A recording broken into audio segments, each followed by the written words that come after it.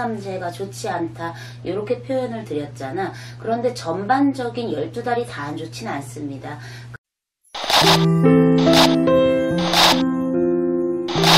안녕하세요. 해월신랑의 최수진입니다. 반갑습니다. 이번 시간에는 2023년도 1월, 2월, 3월 상반기에 들어와 있는 GT분들 나이별 운세에 대해서 간략하게 알려드릴 겁니다. 첫 번째 되는 이제 28살 GT 친구들 같은 경우에는 어, 시작하는 삼재보다 어, 올 해 중간 삼재, 묶는 삼재라고 하거든요. 여기에서가 스트레스가 조금 과중이다. 그래서 1월, 2월, 3월 달에는 뭔지 모르게 어, 스트레스 받고 예민해지고 짜증 지수 올라갈 수 있다는 거 이거 꼭 명심하셔서요. 어, 마인드 컨트롤 잘해야 되는 시기구나. 이렇게 참고하셨으면 좋겠습니다. 자, 너무 잘하려고 욕심을 부리다 보니까 또 그 부분에서 또 스스로가 어, 스스로를 또 채찍질하다 보면서 아 왜 이게 안 되는 거야 조급증 조급한 마음에 어, 문제가 될 수도 있는 상반기 운이다. 그러니 여러분들 어, 1월부터 3월달까지에는 과유불급하면 안 된다. 어, 요거 꼭 명심하시기를 바랍니다. 자, 40살 되는 GT분들 같은 경우에는요.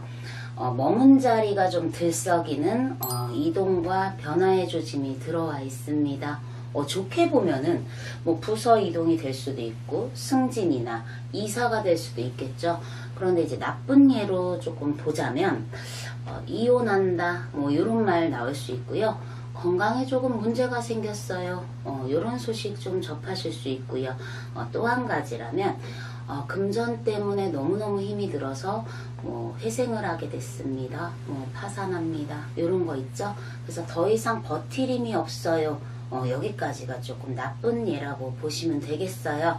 자, 머문 자리가 들썩인다라는 건 이동한다, 변화한다, 요것도 해당이 되지만은요, 음, 좋은 예로는 아까 승진 문서, 그죠? 그리고 집 문서, 어, 다양한 좋은 문서도 들어오지만 반대편에서는 가정사에서 시끄러움이라든지 내 신변에 문제가 생겨서 조금 애먹을 수 있다라는 거 이거 참고 잘 하셔서요. 상반기 넘기셨으면 좋겠습니다. 자, 쉬운 두살 되는 GT 분들 같은 경우에는요. 어, 사람을 너무 믿으면 안 되는 시간입니다. 어, 그래서 왜 우리 어, 배신당했어. 뒤통수 맞았다. 어떻게 저 사람 나한테 이럴 수 있지? 어, 이런 일들을 조금 접하실 수가 있기 때문에 귀얇게 보시면은 큰 손실을 본다. 어, 예를 들면 보이스피싱 같은 거, 그죠? 네, 거기에 어, 가족이 어, 나 지금 너무 어려워서 뭐 어쩌고 저쩌고 뭐 하소연하다 보니 나도 모르게 또 돕게 되는 경우들이 있으실 건데요. 상반기는 꼭 피하셔라. 이렇게 당부드립니다. 아, 가족 간에도 돈 거래라는 건요.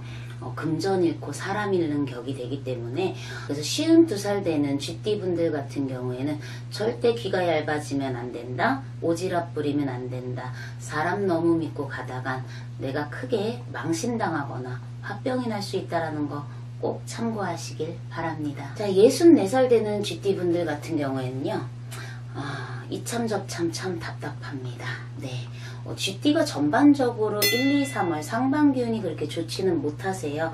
어, 묶는 삼재가 좋지 않다. 이렇게 표현을 드렸잖아. 그런데 전반적인 12달이 다 안 좋지는 않습니다. 그러나 들어오는 시기에 조금 환란이 오거나 애를 먹을 수 있기 때문에 미리 당부드리는 거기 때문에 여러분들 이때는 조금 정신 바짝 차리시고요. 어, 눈 뜨고 코 베는 일 어, 당하는 일 없기를 당부드릴게요. 자 몸수가 좋지 않으실 수 있고요. 돌발적인 사고 조심하셔야 됩니다. 어, 갑자기 어지럼증이 왔네. 어, 갑자기 넘어졌는데 골절당했어. 그래서 상해가 됐든 질병이 됐든 예상하지 않았는데 돌발적으로 어떤 좋지 않은 일이 벌어질 수 있다라는 거. 그래서 상반기 1, 2, 3월에는 장거리 좀 피하시는 게 좋고요. 무리해서 움직이시는 거 안 하시기를 부탁드리겠습니다. 이번 시간에는 1, 2, 3월달 GT분들 운세에 대해서 간략하게 알려드렸습니다. 오늘 영상도 시청해주셔서 감사합니다.